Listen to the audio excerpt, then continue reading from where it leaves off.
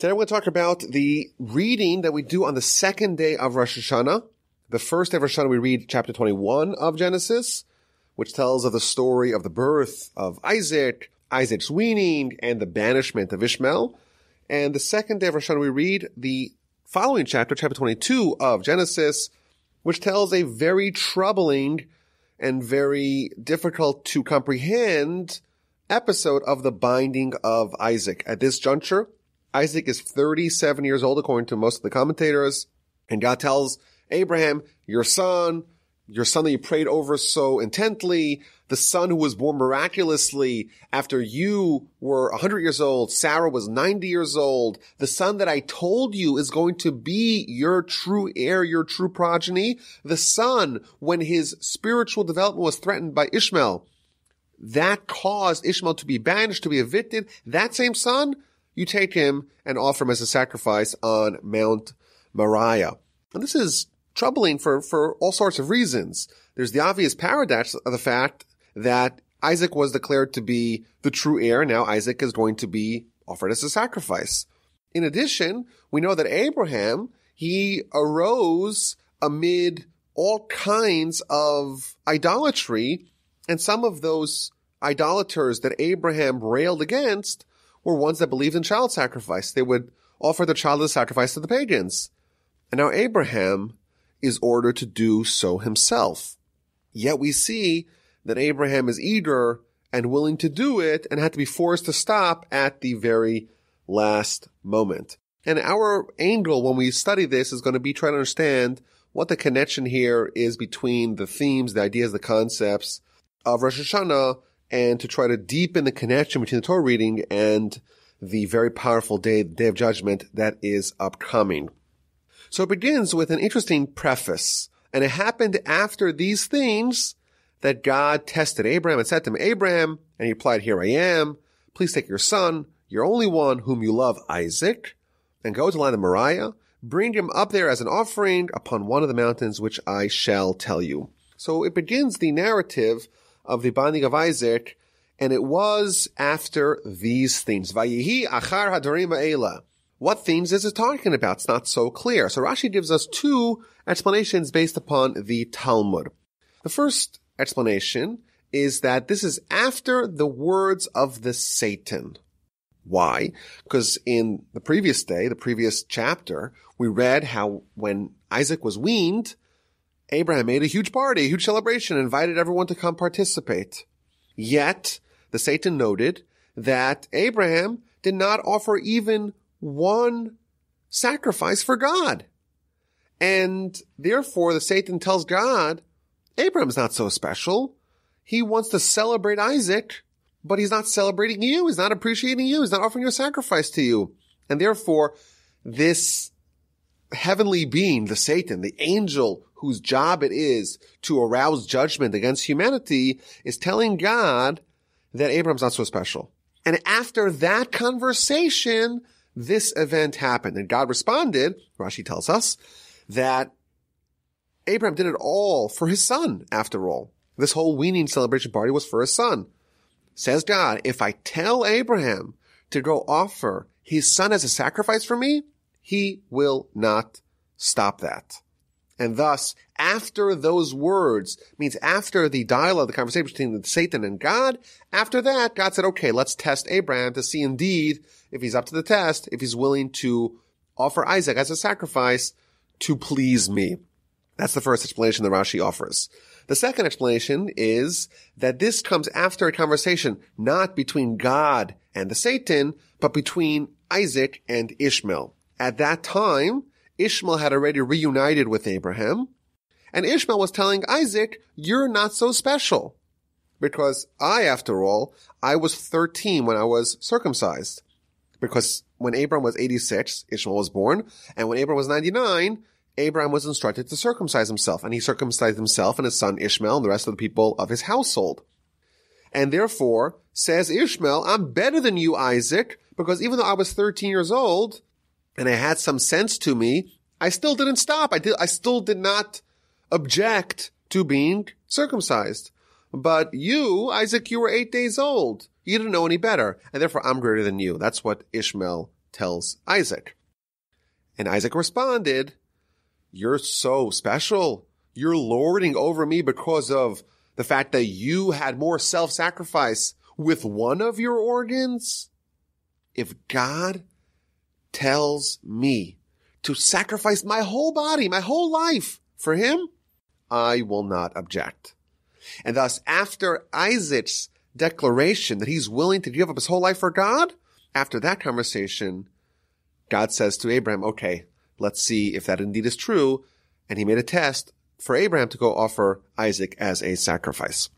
So this is a very interesting introduction to this story. Now, I think the first explanation that there was a conversation between God and the Satan, it really warrants an explanation.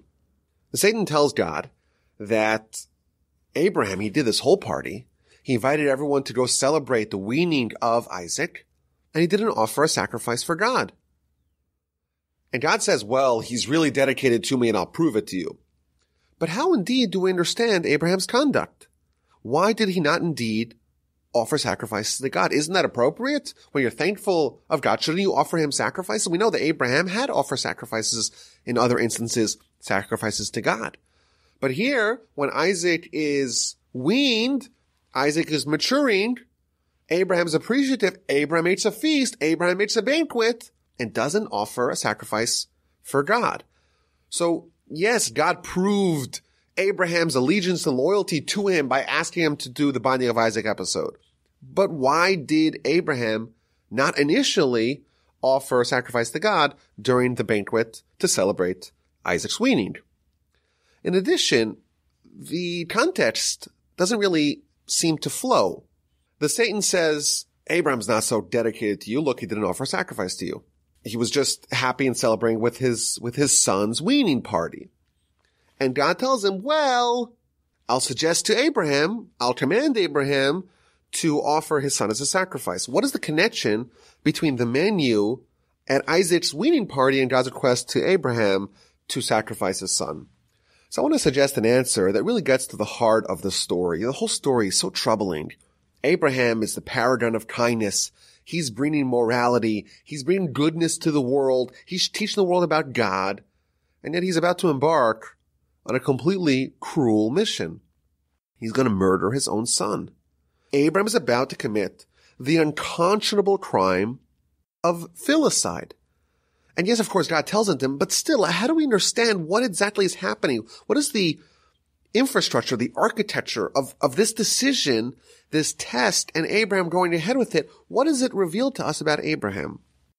So my grandfather of blessed memory, he used to always say the following theme.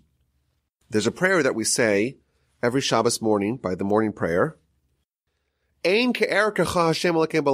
is no value as your value, Hashem our God, in this world. But there is nothing besides you, our King, in the next world. That's the prayer. There's no value like God in this world, and there's nothing besides you, our King, O God, in the next world. What this prayer is revealing, there's a fundamental difference between how this world operates and how the next world operates. Here, every person gets to decide what they want to do. That's the idea of, of free will, of free choice, of bechira. Everyone can decide what's important and what's not important. But what we're discovering over here is that this is not some sort of isolated thing. Every time you have a question, should I do this? Should I do that? You have to make a choice. The true choice is where you assign an internal totem pole of what's important, of what are your values in descending order from the most important value, which is the top value, on downward. There's a certain internal hierarchy of values that's the underlying determining factor of all free will choices. When you have a choice, you have two options, and you decide which one of those two options you want to follow, you unconsciously are referring to your internal list to determine which of the, which one of these two options are a higher value, and thus you choose the one that's of a higher value. A free will choice is the question of trade-offs. You value this, you value that, you can only have one of them. And thus, when you choose, you're in effect merely exhibiting, manifesting, reflecting the pre-existing values hierarchy. What this means is, is that the, the key decision of what a person chooses is not at the time of the choice, but it's rather when you decide to, de- to determine to assign hierarchy to these values. Once those values are fixed in your internal totem pole, then the choices that you make regarding them are already predetermined. And thus the question that we could ask is, you know, is God a value in our lives? Is it something which is important to us? Is it a priority? In this world that we live in, that is a choice that we have. We could choose to assign God a value, to assume that that is a priority in our lives, or we could choose to disregard that entirely. And every Shabbos morning and the prayer we say, there is no value like your value, Hashem our God, in this world. In this world that we get to choose how important things are, we're announcing to everyone that God is the top value.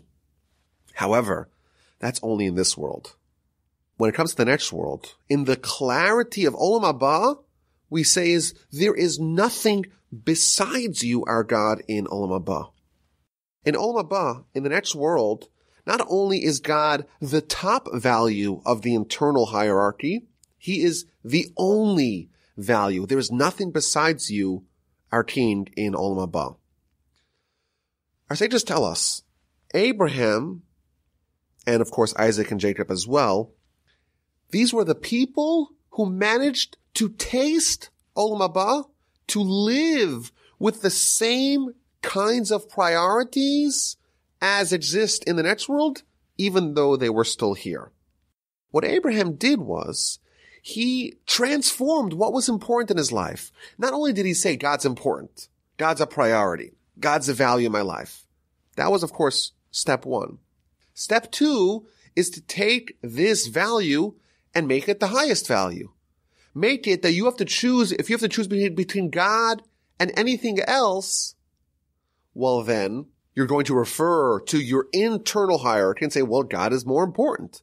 And therefore, if someone comes and puts a gun to your head, God forbid, and says, okay, either repudiate your faith or I'm going to shoot you. So in effect, you have a choice. What's the choice? The choice is between two values. Value A is God and your commitment to God. And value B is your life.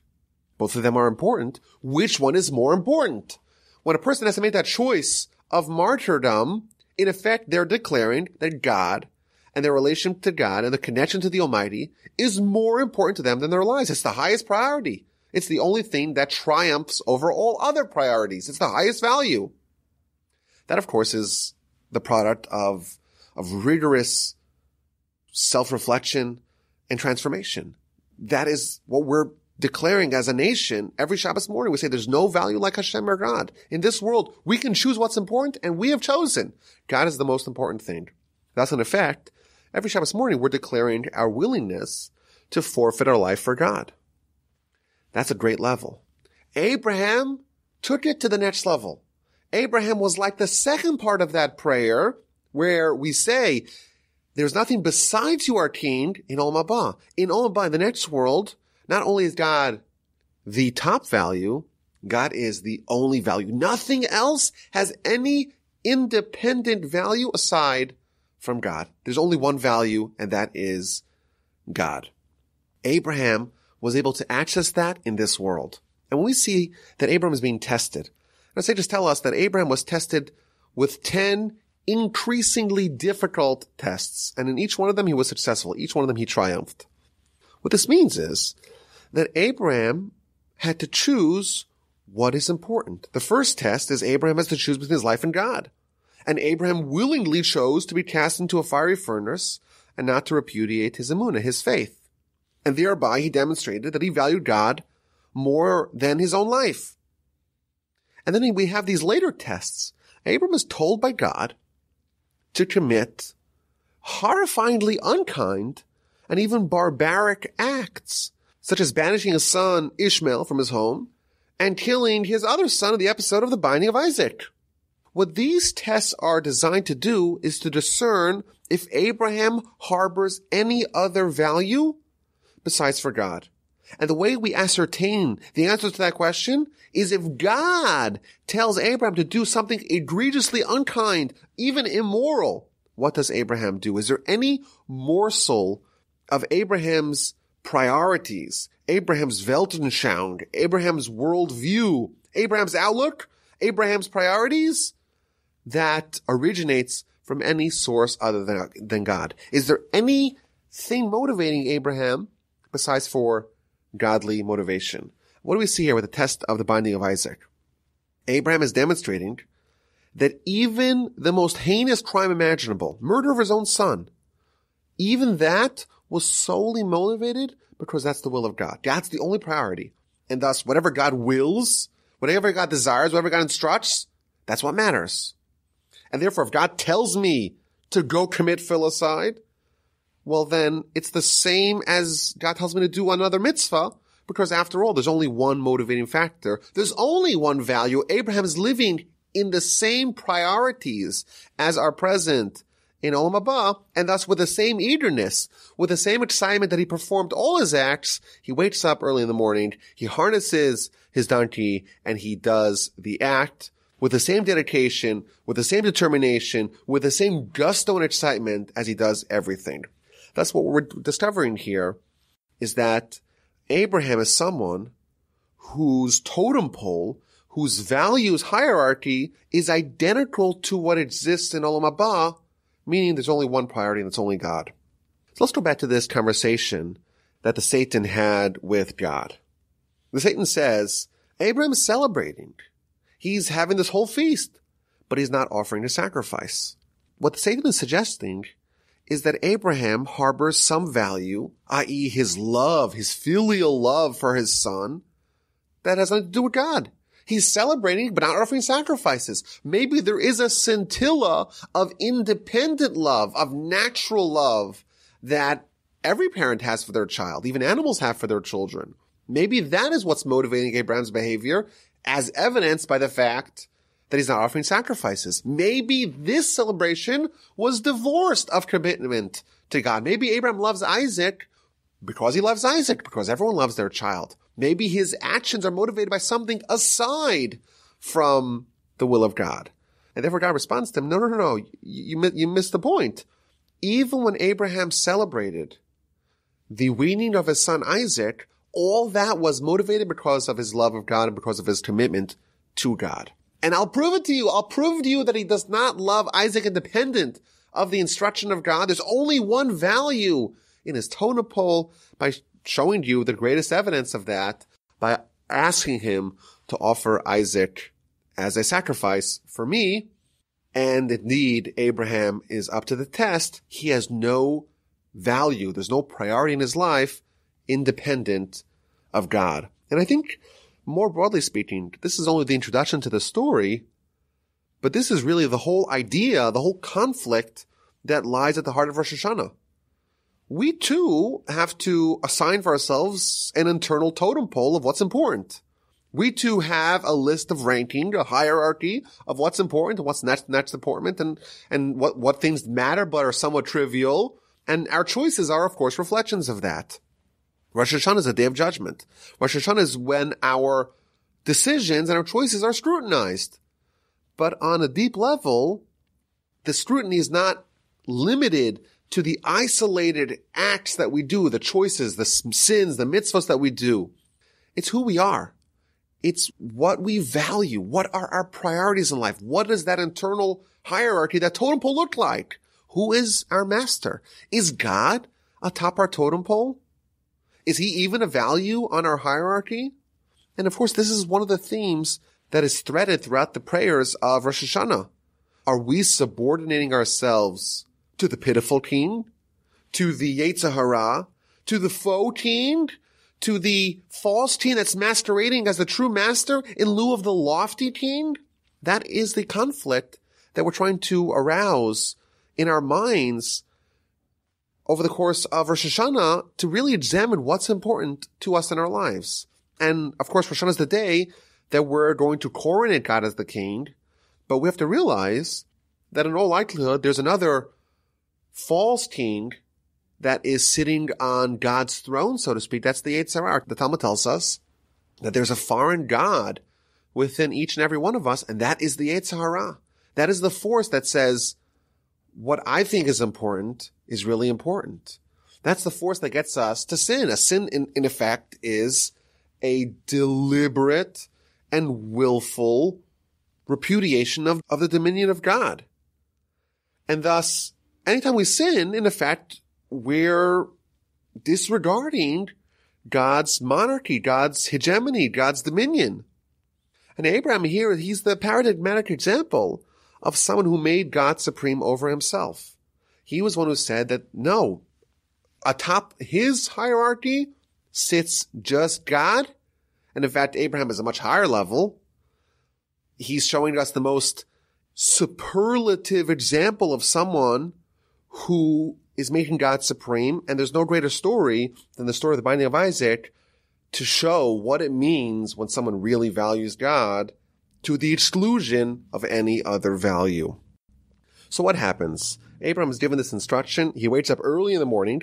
He himself saddles his donkey. Rashi tells us, even though Abraham had lots of people to work for him, when he is so in love with the will of God, with the commandment of God, it caused him to act weirdly to even saddle his own donkey. And the donkey is going to play a big part of the whole story, apparently. He takes his two young men with him, and Isaac his son, so there's four people traveling. Who are these four people? Abraham and Isaac, of course, and Ishmael and Eliezer, Abraham's trusty confidant. He takes the wood for the offering, that's going to be the wood for the altar, and they travel to the place where God has spoken to him. The intention is that Abraham is going to go with three others, but is going to return with only two after Isaac is offered as a sacrifice. Now in the Midrash, we find out that this donkey that is being used to help transport all the paraphernalia for the binding of Isaac, it actually has an interesting backstory and, and future history ahead of it. This donkey, our sages tell us, was created in the twilight of Friday to Saturday, Friday to Shabbos of the first week of creation. And the Talmud lists 10 things that are these hybrids that are half spiritual, half physical. The donkey of Abraham, we're told, was created in that twilight zone between Friday and, and Shabbos, between the physical, the mundane, and the spiritual. That's that donkey. It's an old donkey. And Abraham rode on it. In addition, we're told that this same donkey was ridden on by Moses when Moses descended to Egypt to go save the Jewish people he took his family, his wife and his two sons, and he made them ride on a donkey. Aristides tells us that's the same donkey. And finally, in the future, scripture tells us that the King Messiah is going to ride on a donkey. He's going to be, to quote scripture, a poor person riding on a donkey, and that is going to be his means of transportation, apparently, to go save the Jewish people. Now, what is the meaning behind this? That there's this multi-thousand year old donkey that is going to be ridden by all these great leaders, by Abraham, by Moses, by Messiah, to go save the Jewish people. It seems very bizarre. So there's a general motif in Jewish literature that whenever it talks about a donkey, it's a manifestation of a certain idea, and that is the idea of physicality. In fact, the Hebrew word for donkey is chamor, and the Hebrew word for physicality is chomer. It's the same root because the donkey is the ultimate embodiment of physicality. And this really gets to the general conflict of life. What is the role of our physical orientation, our physical existence in our life? Is it a tool to achieve our spiritual objectives? Or is it an ends unto its own? In other words, is the man riding the donkey, is the soul, is the spiritual agenda harnessing the physicality to use it to achieve its objectives? Or is the donkey riding on the man? Are we taking what should be a tool to aid us in our spiritual journey and we're transforming that into the goal of life itself? If we zone in on the Yetzer Hara, on the evil inclination, and to understand exactly what its job is, how does it cause us to sin? Our sages tell us that its modus operandi is to weaponize the physicality and to transform what truly is a tool, a donkey, a means of transportation to the goal, which is the spiritual goal, that is being transformed by the Yetzer Hara into the goal itself. What our sages are telling us that Abraham, Moses, Messiah are riding on the donkey, what they're revealing to us that there were three people who were total masters over their donkey. And by dint of that, because they had completely harnessed and reined in their physicality, their soul was totally in control over their animalistic instincts. Consequently, they got rid of the Yetzer Hara's influence. Only God was their master, and thus they were able to undertake these missions that reshape the world. And of course, this again gets back to the theme of Rosh Hashanah.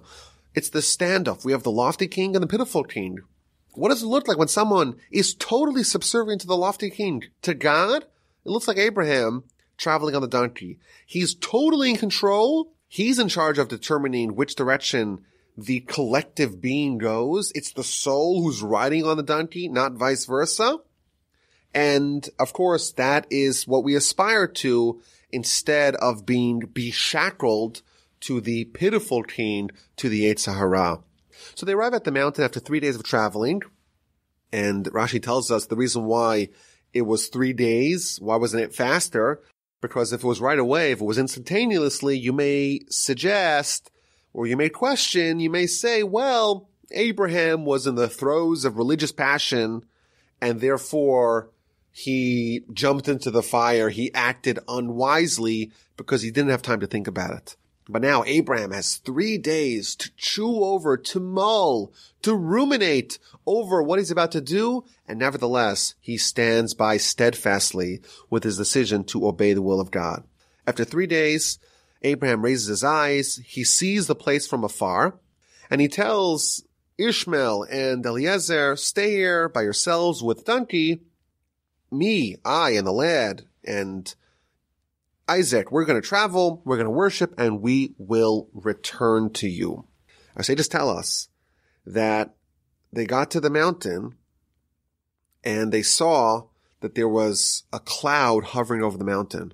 Abraham saw it. Isaac saw it, but Ishmael and Eliezer, they did not see it. And therefore he says to them, you stay here with the donkey.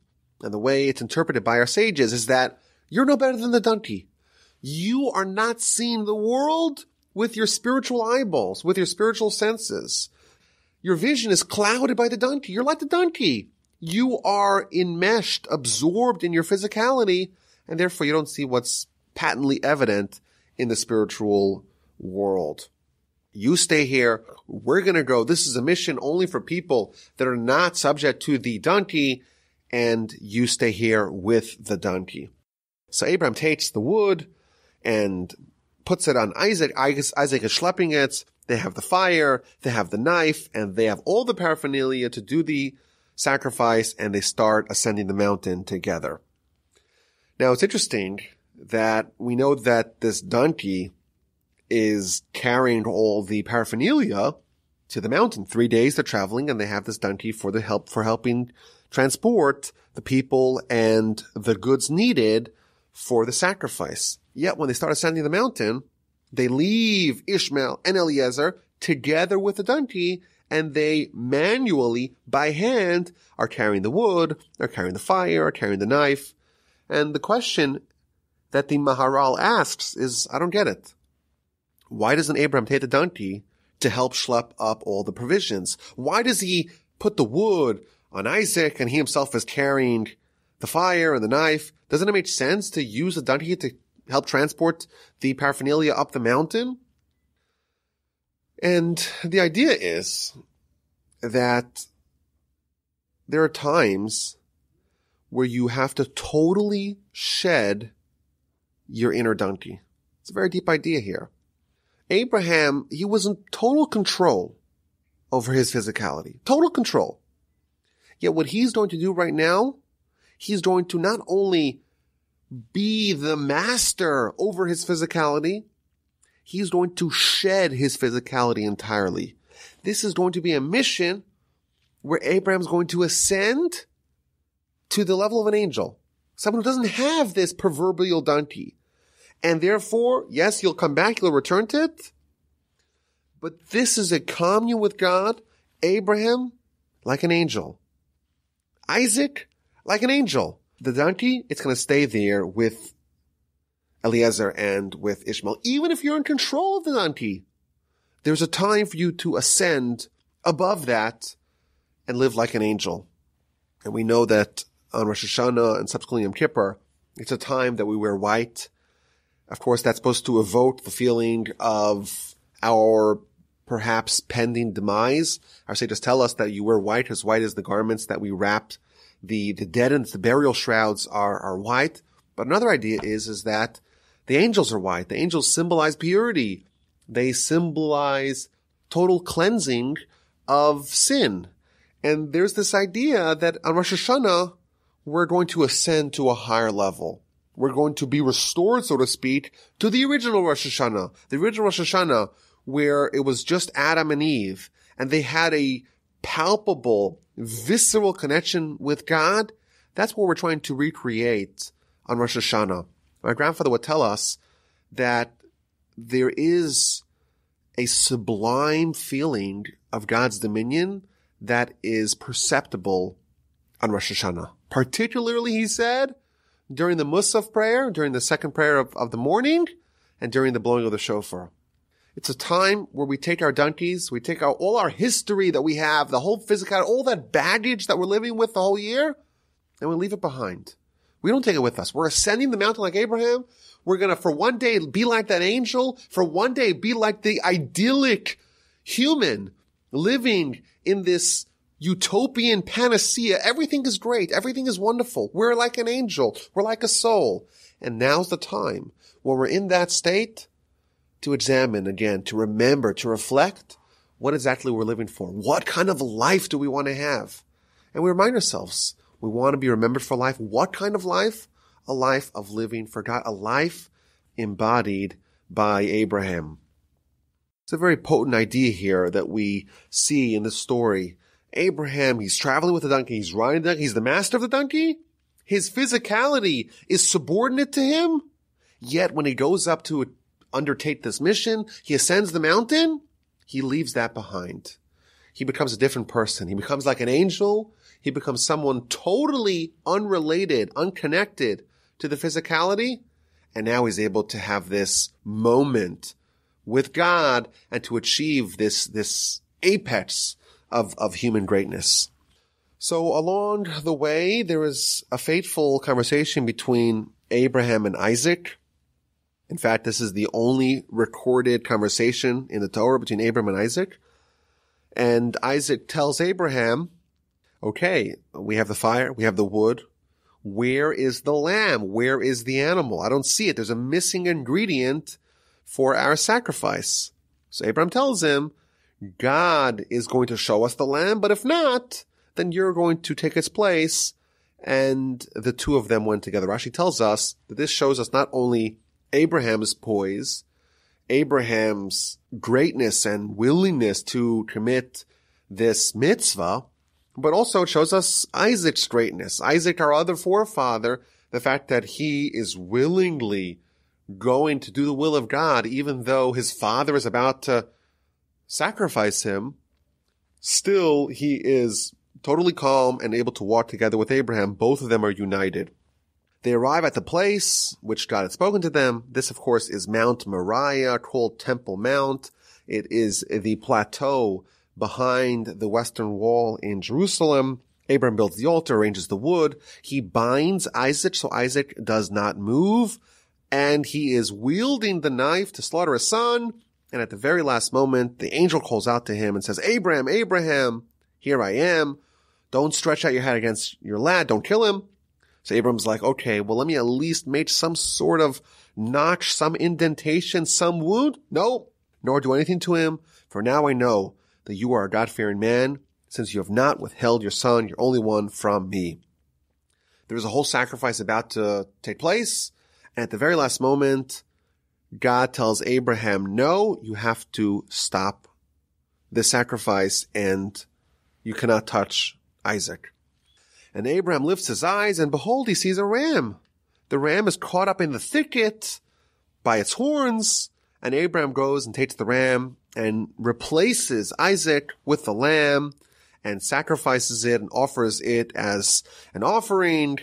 And Abraham renames the mountain Hashem Yira'eh, means God will appear on the mountain that God will be seen. So this ram also has a very long history. The Midrash tells us that every single part of this lamb is going to be used for a grand purpose. Like that donkey, it too was created on the twilight zone between Friday and Shabbos of the first week of creation. Its ashes, just after Abraham sacrificed it, he, he burned it. Its ashes are going to be used for the foundation of the internal altar.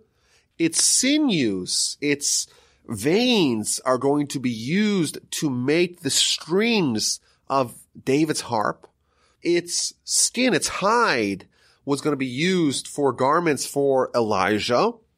Its horns, the left horn was used to blow the shofar at Sinai, and the right horn is going to be used to blow the shofar, heralding the arrival of the Messiah and the coronation of God over the whole world. In addition, Rashi tells us that Abraham discovers this ram, but the ram was actually there placed since the first week of creation. It's an amazing insight. For thousands of years, there was the ram there caught up in the thicket, trapped over there, struggling to try to disentangle from the thicket since the beginning of time. And it was waiting for its moment. Many thousands of years later, Abraham comes and this ram is brought as a sacrifice instead of Isaac. Now, I heard this past year an amazing insight.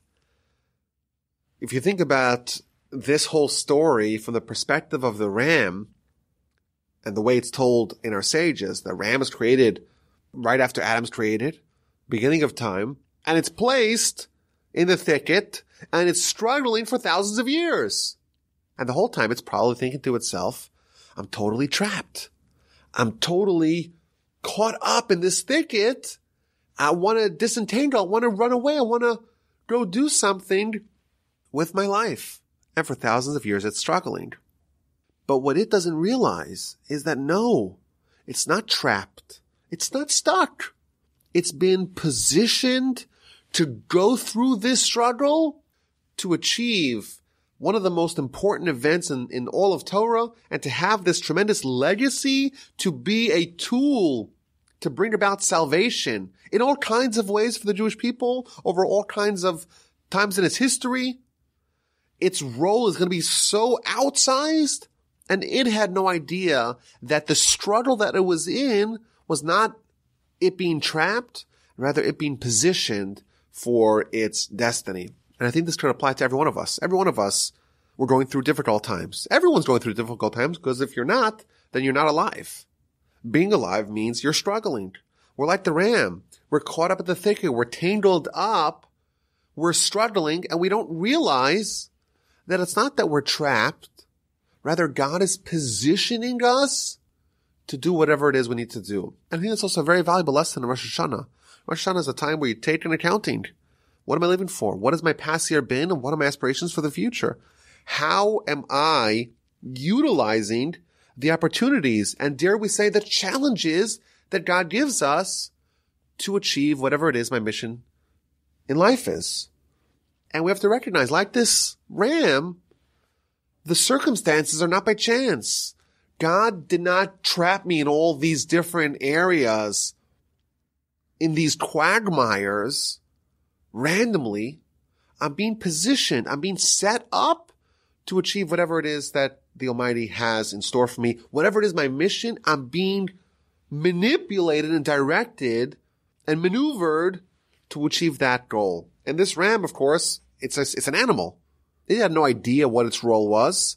And again, the, the Midrash is revealing to us a very powerful insight. It's been there for thousands of years. What that means, who knows? But from our perspective, what this means is, is that this ram is set up to achieve a very powerful destiny, and the whole time it didn't know of it. And it took thousands of years and endless struggles and endless efforts to try to get out of the thicket.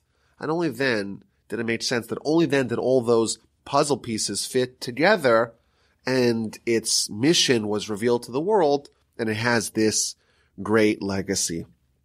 Now the episode of the binding of Isaac is referenced several times throughout Rosh Hashanah. So for example, in the prayer that we say during the Musaf prayer, we tell God, remember us with a good memory, redeem us with salvation, with mercy from the high heavens above, and remember Hashem our God, the covenant and the kindness and the oath that you swore to Abraham on Mount Moriah, and let it be seen before you the Akedah, the binding that Abraham bound Isaac his son atop the altar, and he overcame, he conquered his mercy to do your will with a complete heart. So too, may you have your mercy conquer your anger from upon you, and with your great goodness, may the anger be removed from upon your nation, and from upon your city, from upon your land, and from upon your heritage. Abraham had a tendency. He loved his son. He curbed that. He overcame that to do the will of God. We're asking God, you too have a tendency or, or an attribute of judgment. When someone sins, it evokes judgment.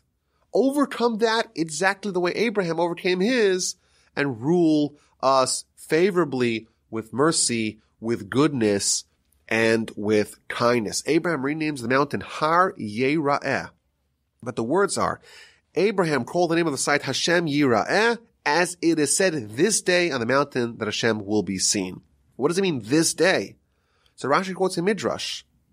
Every single day, every single year, this episode, the episode of the binding of Isaac, will be used as a means to atone, to expiate the Jewish people from their sins, to save them from punishment, and thus every year and every generation and every day on this mountain God will appear because Abraham did this grand act of martyrdom and Isaac did as well. There's another verse in Leviticus chapter 26 where God says, I will remember my covenant with Jacob and also my covenant with Isaac, and also my covenant with Abraham, I will remember. So Rashi points out, quoting from our sages in the Talmud, that it mentions God remembering the covenant of Jacob, remembering the covenant with Abraham. But with Isaac, it doesn't say God will remember the covenant with Isaac, rather, and also the covenant with Isaac. But there's no word for memory for God remembering the covenant with Isaac. Now, of course, whenever we talk about God me- remembering, doesn't imply that God forgets or anything like that. It's a separate subject. What does it mean that God remembers? And we see every time that it mentions God's memory, it means God evoking the righteousness of a certain person.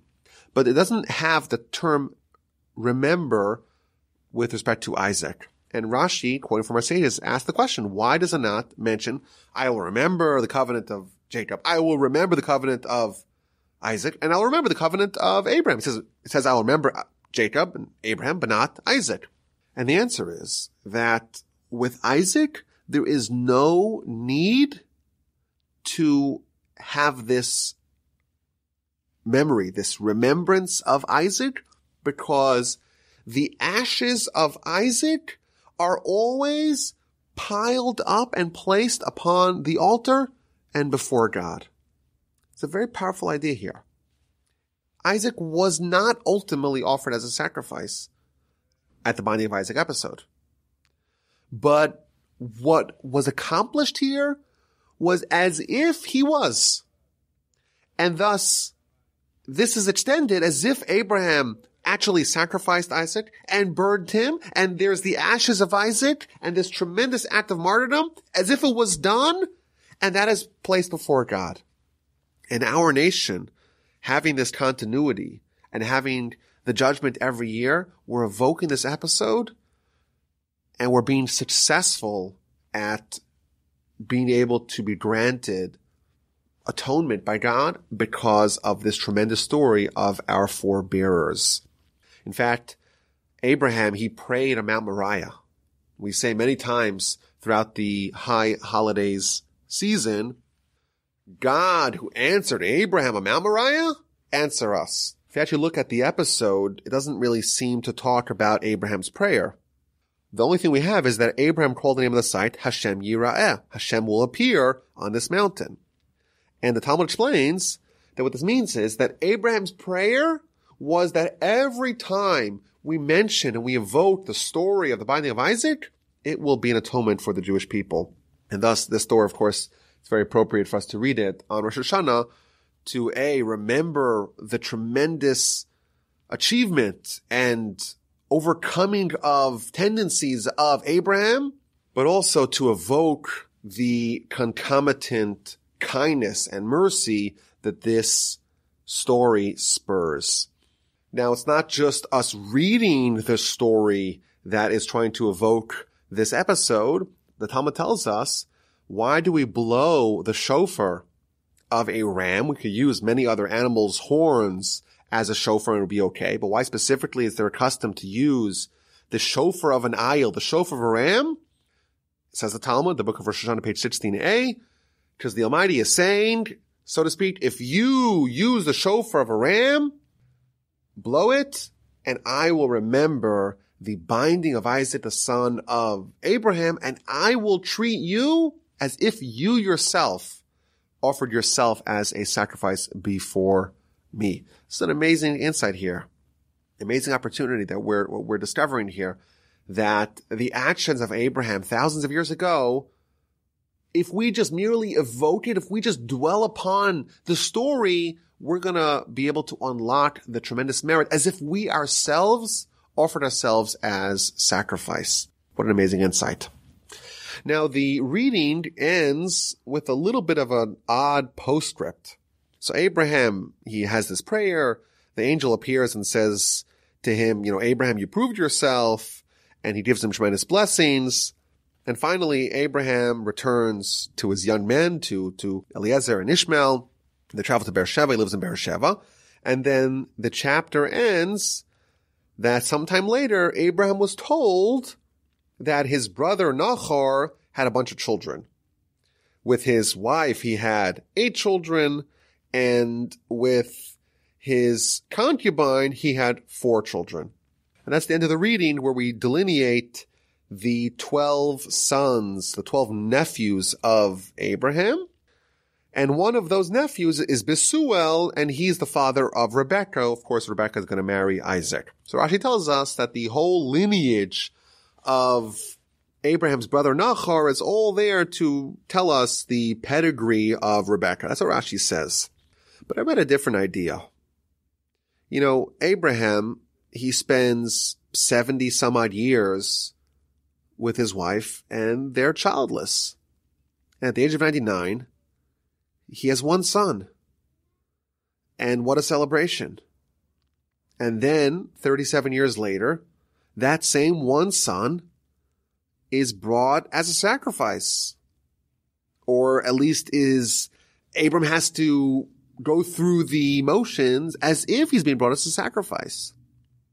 And then you have this contrast, this very stark contrast between Abraham's children, Abraham's progeny, and his brother Nahor's progeny. He has 12 sons, no problems, no drama. And we have this tremendous contrast. Abraham chose one path, the path of being God's chosen, the path that resulted in everything that ensued. He had one son after many, many years of childlessness. And even that same son had this horrifying, terrifying brush with death. And his brother, it seems like he chose a different path, but it looked like it worked out much better for him.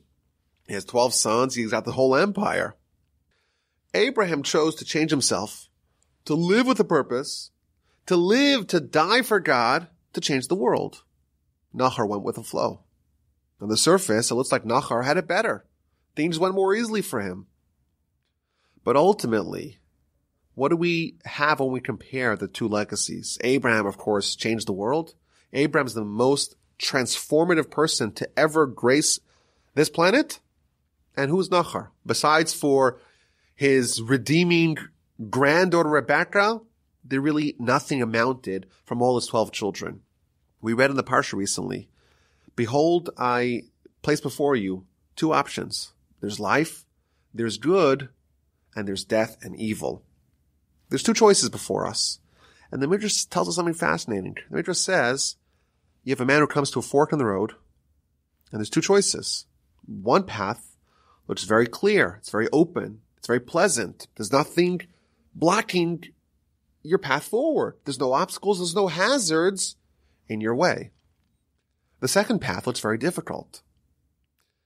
You have to maneuver it very carefully. You have to navigate to avoid the pitfalls, to avoid the hazards, to avoid the dangers.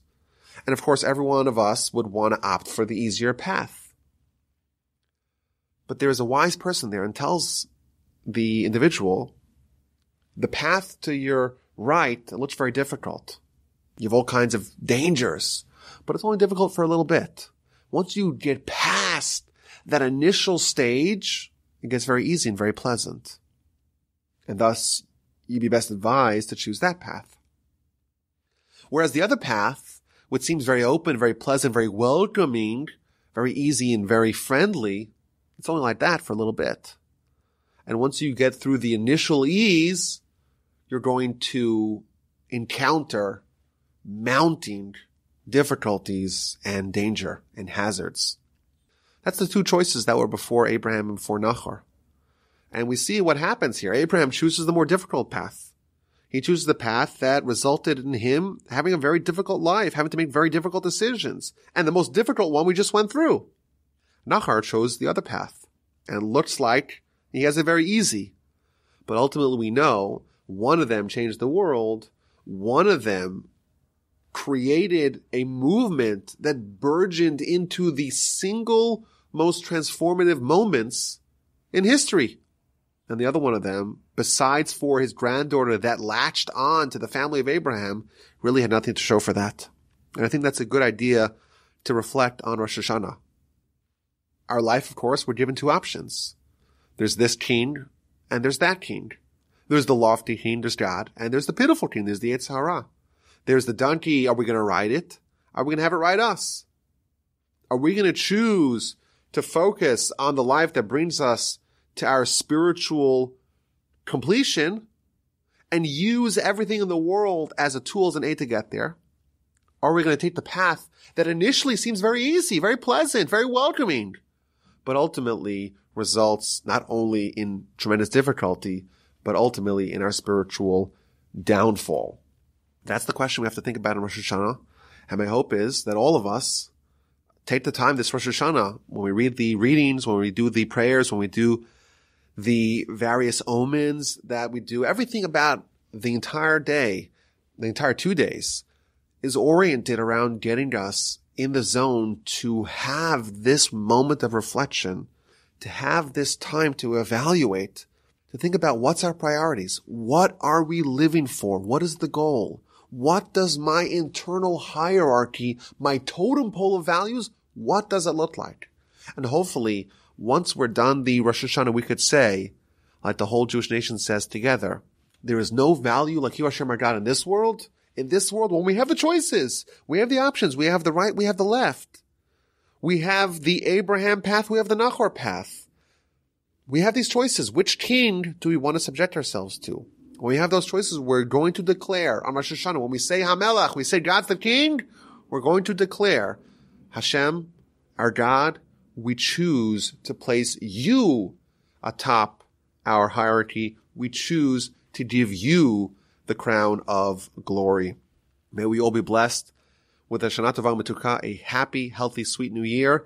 Aksiva Chazima Tova, we should be inscribed and stamped swiftly into the book of life, into the book of total righteousness, and may we celebrate another year of tremendous Torah growth together.